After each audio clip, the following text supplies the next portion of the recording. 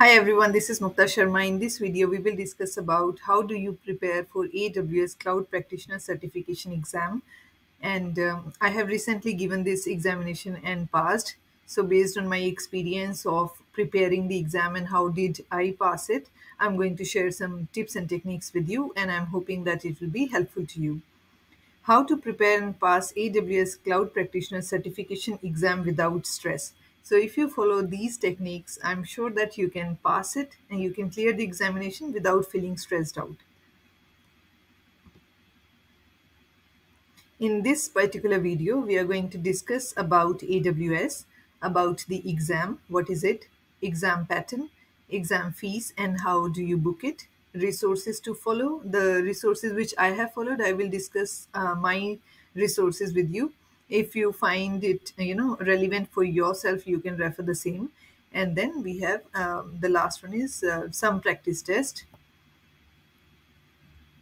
AWS Cloud Practitioner Certification Exam. If you're not aware about AWS, it stands for Amazon Web Services. It is the world's most comprehensive and broadly adopted cloud, offering over 200 fully featured services from data centers globally.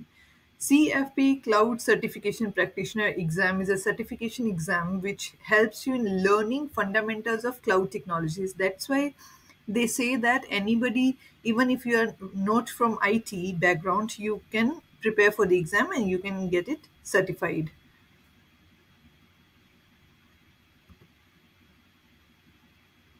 Now let's talk about exam pattern. Total number of questions will be 65.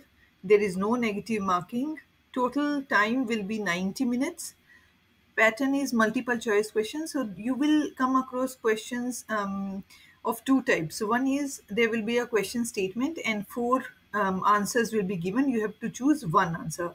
Second style is a um, problem statement is given. Question will be given to you and you will be asked to choose two correct answers out of uh, out of uh, four or five you know um, answers so multiple choice questions and question and answers fees will be around 120 uh, pounds with taxes because I'm in London, so I booked it in uh, you know um, London. So I paid 120. 20 pounds was the taxes that I paid, and 100 pounds was the fees. So 120 for me. You can go to AWS uh, official website, go to um, certification, training, and certification, and there you will see all the details whichever country you belong to you can pick select the country and it will show you the taxes as per that country. Then you can book the exam. And depending upon the uh, you know your availability you can give the exam either from your home or you can go to a physical uh, center. At home if you give so the process is very much simple when you book for the exam you will get exam uh, confirmation email. In that confirmation email they will give you a link on to do the system test before the actual test begins. So you have to just click on that system um, test link. What will happen? It will do the setup on your laptop from which you are going to give the exam.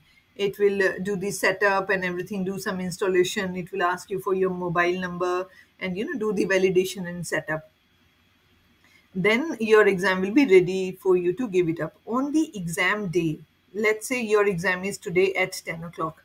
So you have to log in 30 minutes before. You will log in at 9.30 and then uh, you will go to the site um, aws training site sign up with your email id and then you will see that you have registered for aws cloud practitioner exam and it will ask you to check in. You will click on check in and then there will be an invigilator uh, that chat box will open and somebody either a man or a female she will ping you and she will say please can you give me uh, you know look around in your room? Where are you sitting? From which desk are you giving your exam? So you have to just move the camera in every nook and corner of the room and show her that you know you are sitting alone and giving the exam. There is no one to disturb you and there are no chances of you doing some cheating or anything like that they will ask you to you know show or take the picture of the table if you have a setup like that.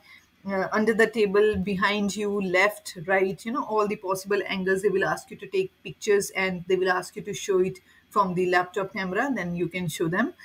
Once that is done once uh, they verify it you will be all okay to start your exam. When you start giving exam there will be a timer limit on the top. So you can see the time how much time is remaining for you.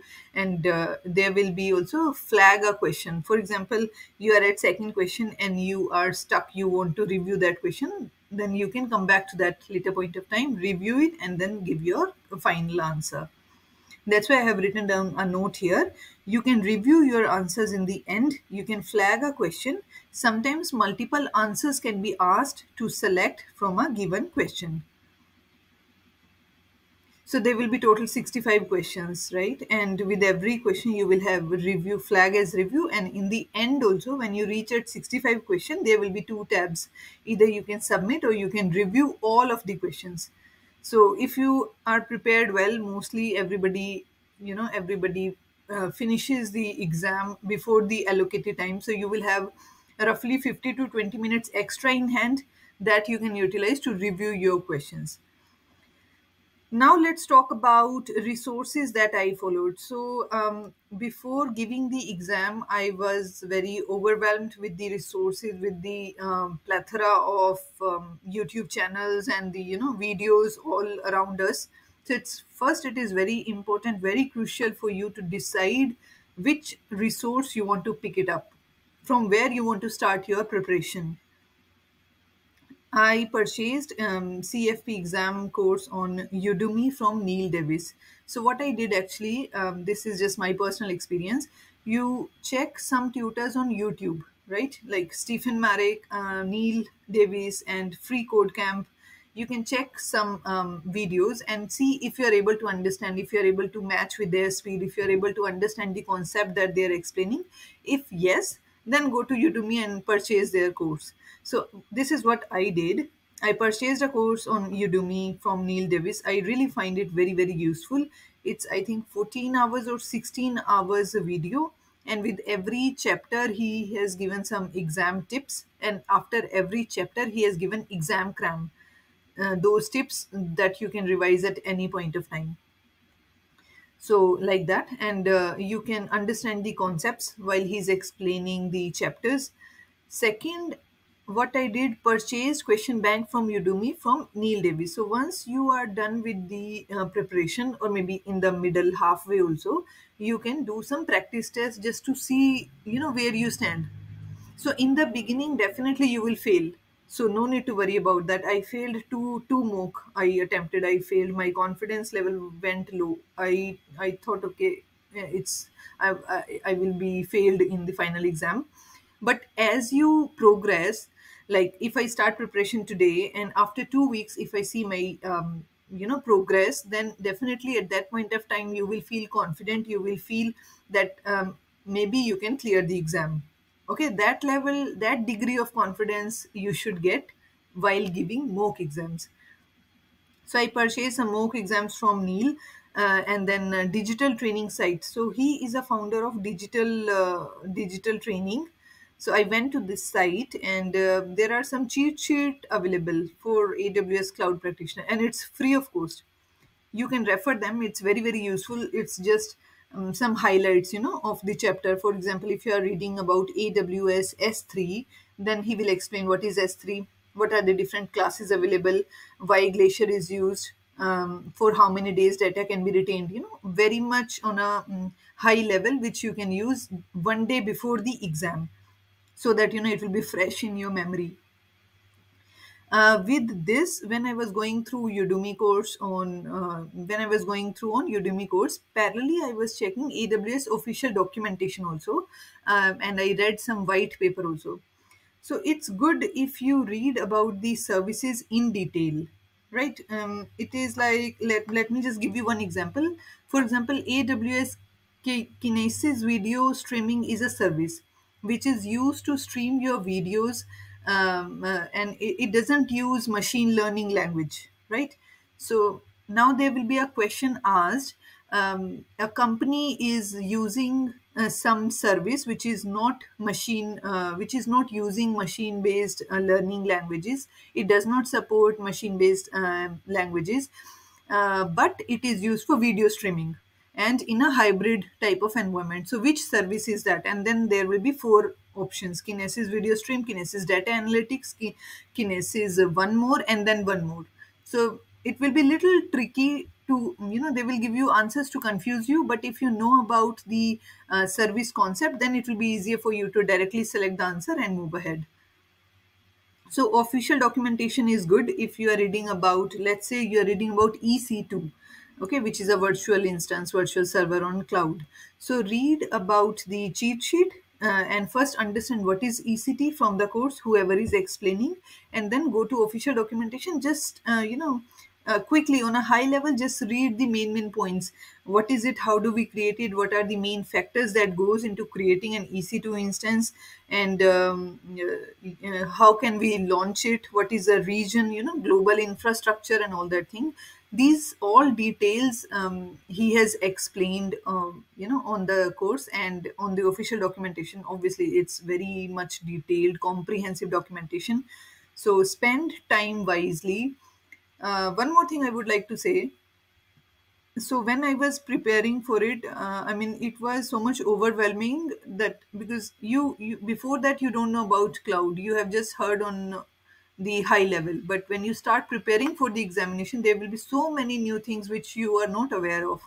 So make notes, you know, handwritten notes, or if you prefer to write in Word or Notepad, do that. That will be very helpful one day or two days before the final exam.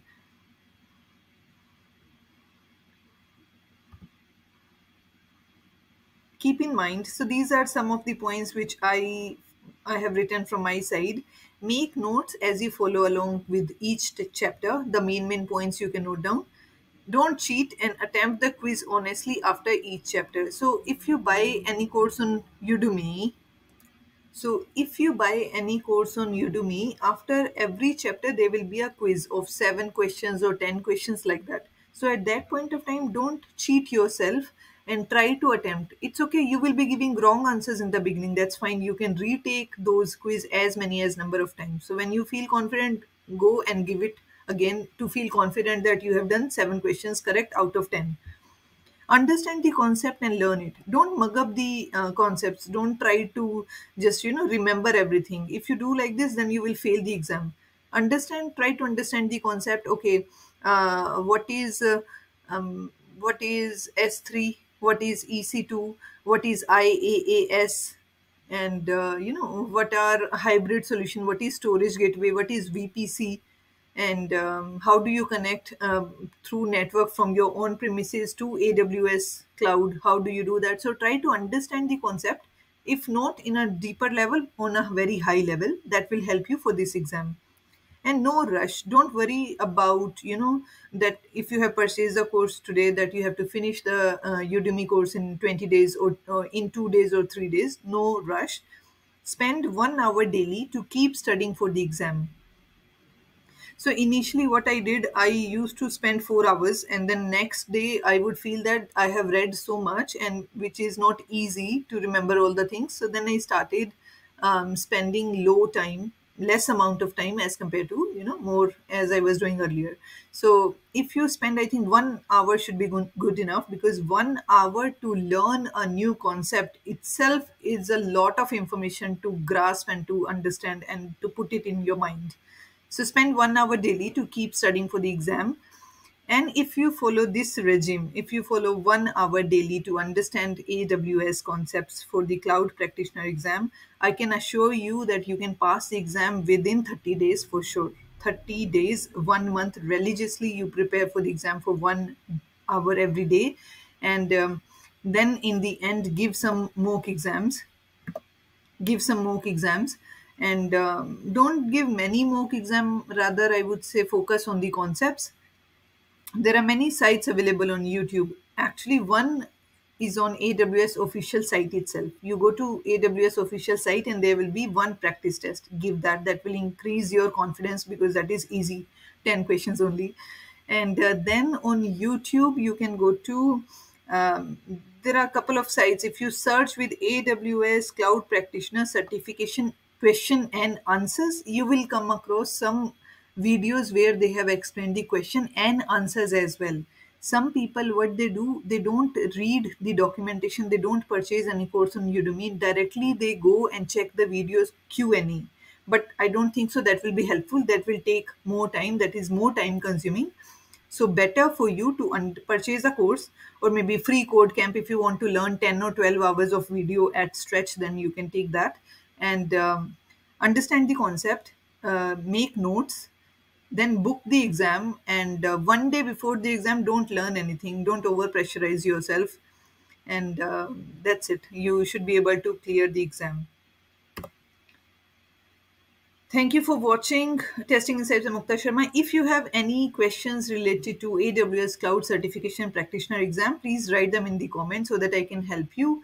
And uh, yes, immediately as soon as you submit your exam, within two minutes, your uh, status will be shown on the screen whether you have passed the certification or you are failed. So if you book the exam before 15th July, I think you can use AWS retake as the code during checkout to give um, another retake. If you un- if you by any chance if you fail first attempt, then you can you know give the second exam free of cost that is extra bit of info from my end. So i hope this is helpful. Thank you so much for watching all the videos on my channel and i will see you in the next video. Until then please take care of yourself. Bye